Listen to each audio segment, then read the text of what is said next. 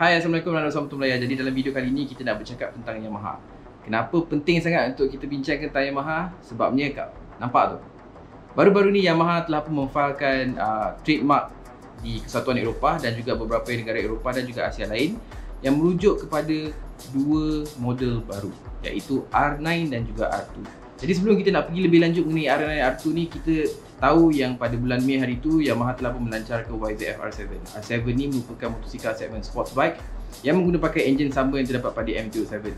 Beza dia, MT-07 ialah motosikal naked, sementara R7 adalah motosikal jenis full fairing atau sports bike lah.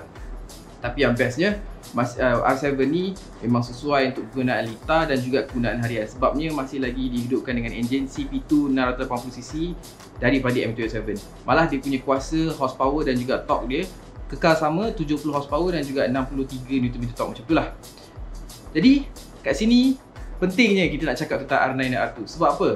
R9 sudah tentu merupakan motosikal yang akan mengikut acuan sama seperti R7 full fairing full body panel, uh, bercirikan sports bike namun bernadikan enjin CP3 890cc yang sama dapat pada MT-07, uh, MT-09 yang diperkenalkan sekitar ujung 2020 model 2021 MT-09 2021 jadi kalau mengikut pada corak yang dilakukan pada R7 pastinya R9 akan menarik lebih ramai peminat. Sebab apa? sebab MT-09 itu sendiri merupakan model yang sangat-sangat popular.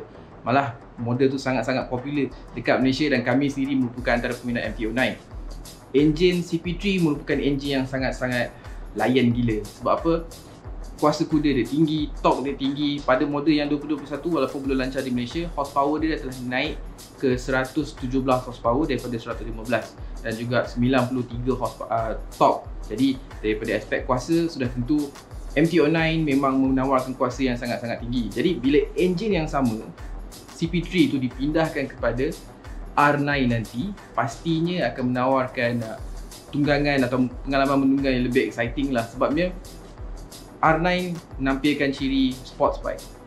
Dengan body full fairing, ergonomik yang lebih agresif, tempat duduk yang lebih attacking. Jadi saya rasa bagi peminat-peminat yang kaki track atau track junkies kat Malaysia pastinya akan menghargai atau appreciate model R9 nanti. Cumanya sekarang ni kita tak tahu bilakah model tu akan diperkenalkan.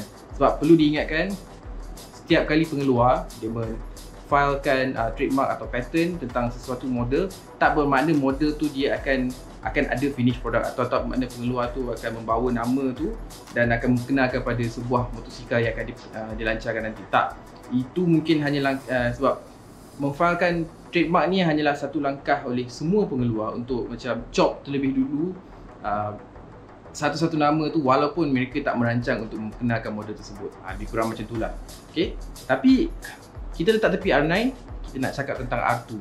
Sebabnya R9 memang possibility untuk berlaku tu memang agak tinggi disebabkan uh, Yamaha telah pun ada enjin 890cc tu. Tapi model R2 ni agak skeptical sikit sebabnya okay, Firstly, kalau kita nak cakap tentang uh, Yamaha mungkin R2 merujuk kepada motosikal 250cc tak mungkin sebab Yamaha dah ada R25 dan jika nak kata uh, mungkin R2 ni merujuk kepada enjin 200cc yang yang dikecilkan daripada R25 pun tak juga disebabkan R25 merupakan enjin yang telah dikecilkan daripada R3 bore and stroke dia dikecilkan bagi uh, dijual di pasaran Asia atau masuk Malaysia lah R25 jadi kalau kita nak sebut mungkinkah R2 merujuk kepada 200cc?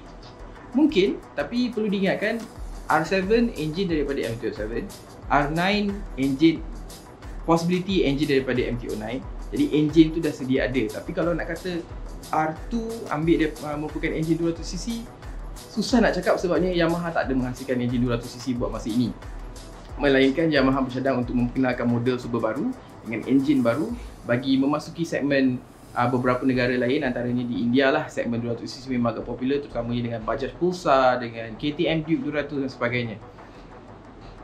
Tapi ada satu lagi teori menarik kat sini yang uh, netizen pun ada komen di uh, Facebook motomlai.net iaitu R2 mungkin merujuk kepada 4 inline 250cc itu agak exciting juga agak menarik kerana mungkin ini adalah langkah Yamaha untuk mencabar Kawasaki ZX25R yang telah pun dilancarkan di Indonesia, Thailand dan sebagainya. Belum masuk sini lagi. Tak tahu akan masuk atau tidak.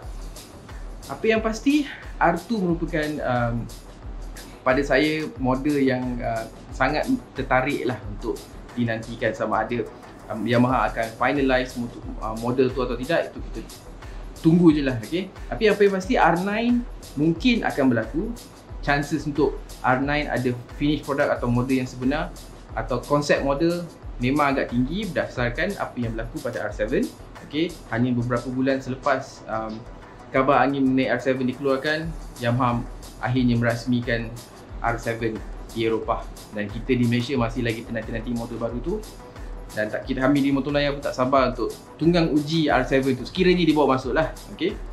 jadi mengambil daripada skop itu R9 mungkin akan mengikut langkah sama okay? mengambil enjin MT-09 890cc CP3 117 horsepower 93 Nm torque which is pada saya dengan kuasa tu letak pada sebuah sports bike memang it's going to be a very exciting bike lah yang pasti uh, dan acuan tu rekaan mungkin pada saya tak jauh beza daripada R7 lebih baik kalau dia nampak macam ala-ala R1 lagi okay?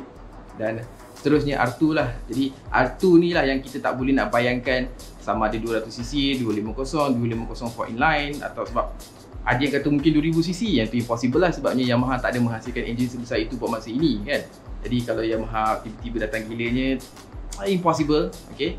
Apa yang pasti Kita cuma perlu tunggu nantikan uh, Sama ada Yamaha akan materializekan R9 dan R2 ni Mungkin mana tahu November Di EICMA nanti Yamaha berpeluang Untuk tunjukkan R9 dan R2 ni secara konsep Sebabnya Yamaha akan sertai Honda uh, MV Agusta Aprilia dan beberapa pengeluar lain Termasuk Suzuki Untuk uh, sertai EICMA tahun ni. Jadi kita tunggu je lah perkembangan terbaru daripada Yamaha. Okay?